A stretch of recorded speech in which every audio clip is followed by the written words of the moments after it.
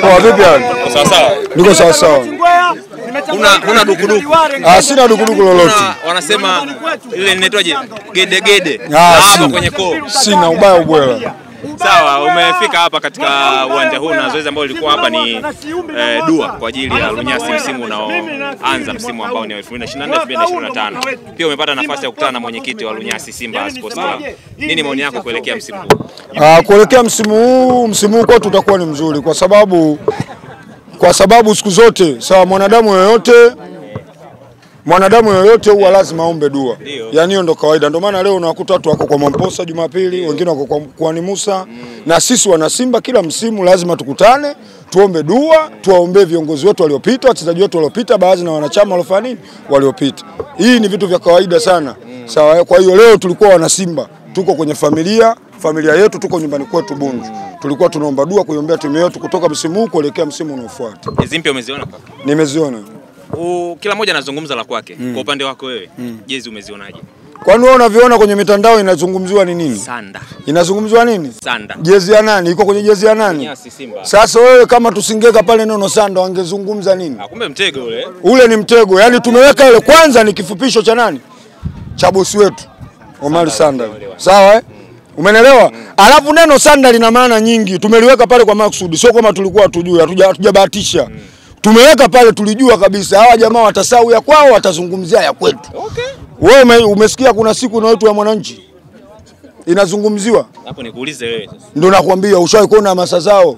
Hamasa ni za Simba Day tu, Okay. umenelewa? Kwa tukitoa hichi tunaweka hichi, na tukimaliza tarehe tatu pale tunaondoka saa nane mchana, umenelewa? Sasa sijui wataiandaa saa ngapi ya kwao, na tumeweka sanda. Maana yake sanda ina maana kubwa, hakuna mwanadamu anayeingia alizini bila kuvaa sanda. Kwa hiyo kila mtu atauonja umauti. Kama mtaka mwazike. Sasa. Nauliza jibu, achwi mtu hii Eh? msimu huu achwi mtu, na ndio maana jezi tumeiandika vile. Achi mtu na usajili aliofanya. Alafu ile jezi jezi jezi na vitu hivi, yaani jezi bora na vitu vitatu. Kwanza tunaangalia quality ya kitambaa, umenelewa eh? Sasa wewe unashangaa neno sanda, wao waliweka magorofa magorofa, kuna jezi waliweka mafuvu, kuna jeshi wa, wa, kuna jezi wameweka saini za watu wachezaji waliokufa. Umenelewa? Sasa mbona ile sisi hatujashangaa, si watu wa mpira, sisi hatushangaa vitu vidogo vidogo, kwa sababu sisi siku zote ni madiscover na ni maestablisher. Sisi ndo waanzilishi. Kwa hiyo moja kwa moja chochote tunachokifanya wataiga. Anasema wewe uogopi. Niogope nini? Mwamba Lusaka. Mwamba Lusaka. Yaani mimi nimzungumzie mchezaji mzee. Simba umeona kuna mchezaji mzee. Uogopi? Yule. Uogopi? Yaani kitu kinyago nimekitengeneza mimi alafu kinitishe. Uogopi. Kwani Mwamba Lusaka wakati anakuja Simba alikuwa na umri gani? Kuna mchezaji mwenye miaka 30 abavu yupo Simba sasa hivi. Wamebakia wanne tu. Kuna Ngoma miaka 29, kuna Mzamiru miaka 29, kuna Shomari Kapombe miaka 29. Nitafutie mchezaji mwenye miaka 30. Waliobakia wote ni 24 kurudi chini. Wanasema cha, anasema cha, Augsburg Jerumani. Nani? Anapata matokeo kwa shida. ni mchezaji mmoja ni mchezaji ni mchezaji mmoja wa kikosi alichokuwa anacheza kwenye ligi. Waliobakia wote ni wachezaji wa mikopo mikopo na nini. Kila la heri. Sisi tumecheza na Sevilla, Sevilla ya moto wewe mama. ni kumkusudia Yaani kumua nyani usimwangalie usoni. Umeelewa? Yaani unapotaka kumua nyani usimwangalie usoni. Ukimwangalia usoni utamuonea huruma. Mwaka huu wa jambo letu. Na hata jezi yetu umeona ilivyoandikwa? Sanda, unaelewa maana ya sanda? Kuna mwanadamu anaingia chini ya ardhi bila kuvaa sanda. Yaani kila mtu atauonja umauti msimu huu. sasa unatamba na kauli mbiu yenu inasema ubaya ubwela kosi mnalo Kikosi yaani wewe una wachezaji chini ya miaka 25. Mpira unahitaji vitu vitatu: commitment, space and time.